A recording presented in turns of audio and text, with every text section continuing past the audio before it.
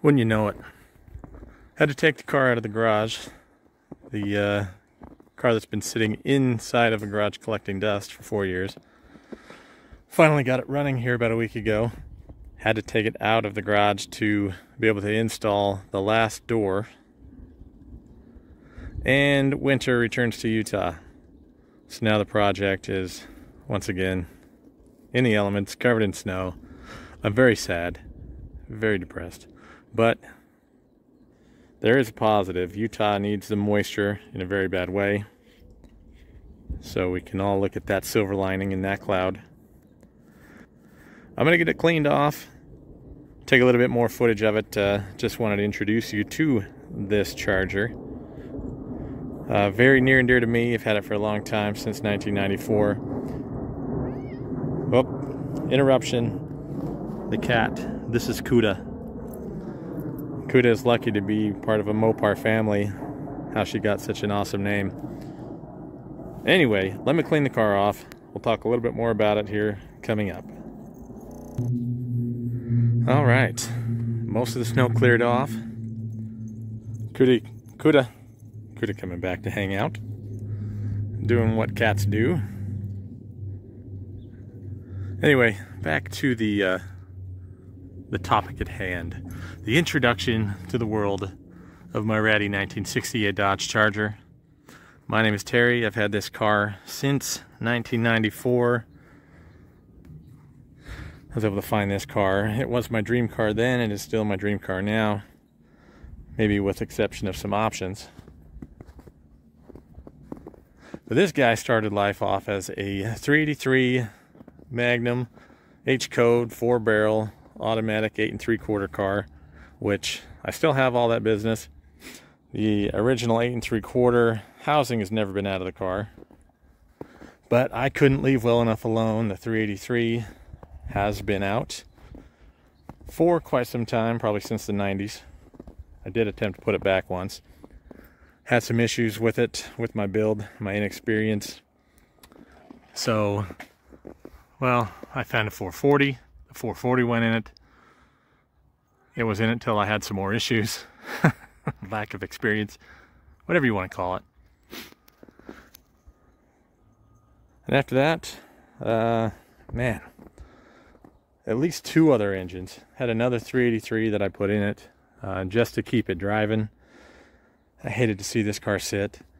But that came out when I hurt the transmission and finally stuffed a big 440 in it and decided to drag race the car. There is remnants of a 1299 on the window. One of the last passes I made in the car. And the reason I stopped drag racing it is because I found another car that was going to be a dedicated car for the drags. A 1967 Dodge Dart so the 12 second rocket went out of the charger and into the dart and immediately started running 1170s. So these cars are heavy.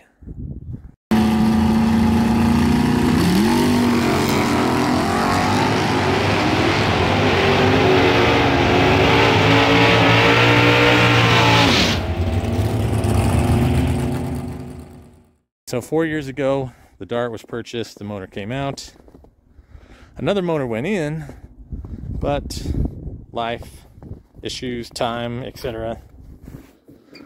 delayed me doing anything with it until just a few days ago. We did manage to get it to run. The uh, carburetor of the Sonnet is having some problems of its own. So tuning time, probably rebuild or another carburetor in its near future. But here's the magnificent 440. Hopefully this thing will be vroom vrooming very soon. And we'll be able to drive this bad boy.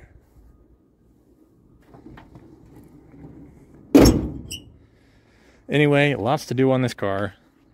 Just a little bit to get it going. Like I say, the carburetor, uh, some fine tuning, some tires. These tires are ancient, uh, especially the backs. The backs are not going to live very long.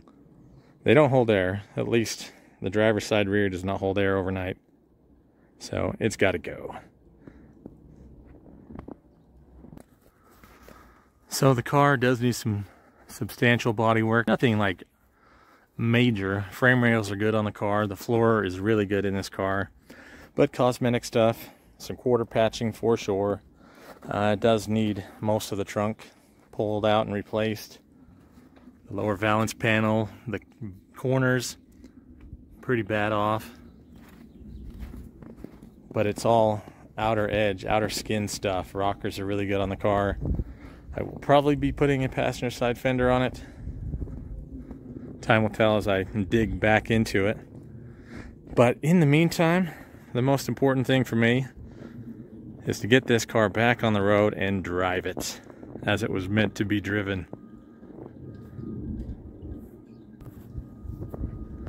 Anyway, hope you guys enjoyed the uh, little video here of my car. I really enjoyed sharing it. I love these cars. I really love this car. And hopefully more videos forthcoming. The next one, hopefully some loud noises. Some good loud noises. Right now it's still uncorked. Straight out the headers until I get the exhaust fixed too. So that should be fun. Anyway, thanks for watching. See you on the next one.